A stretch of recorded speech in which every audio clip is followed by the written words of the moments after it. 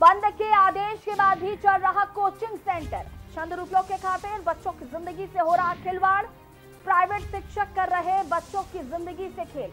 अधिकारियों के आदेशों की उड़ाई जा रही है धज्जियाँ। बता दें कि कोरोना काल में चुपचाप चलाया जा रहा है कोचिंग सेंटर। कोरोना के चलते फिरोजाबाद में लगातार मरीजों की संख्या बढ़ रही है और उत्तर प्रदेश सरकार ने स्कूल और कोचिंग सेंटर बिल्कुल बंद रखने की, के आदेश दिए हैं। लेकिन फिरोजाबाद में आसफाबाद पर जीत क्लासेस के नाम से एक कोचिंग सेंटर चल रहा है, जिसमें तमाम छात्र छात्राएँ बिना सोशल डिस्टेंसिंग का पालन किए हुए पढ़ रहे थे। जब इस बारे में जिला विद्यालय निरीक्षक से बात की गई तो उनका कहना था कि कोचिंग सेंटर वालों को पहले ही बता दिया गया कि कोई भी कोचिंग सेंटर नहीं खुलेगा।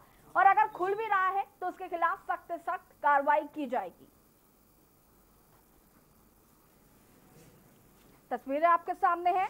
आप देख सकते हैं यहाँ पर सोशल डिस्टेंसिंग को ताक पर रखकर और सरकार के आदेशों को ताक पर रखकर कोचिंग सेंटर चलाया जा रहा है।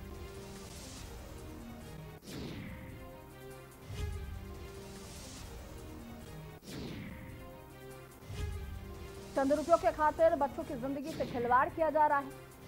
फिरोजाबाद की ये तस्वीरें हैं जहाँ पर जीत क्लासेस कोचिंग सेंटर चलाया जा रहा है। कोरोना काल में बच्चों को पढ़ना इतना ज़रूरी है। चंद रुपयों के खातिर ज़िंदगी के साथ खिलवाड़ किया जा रहा है।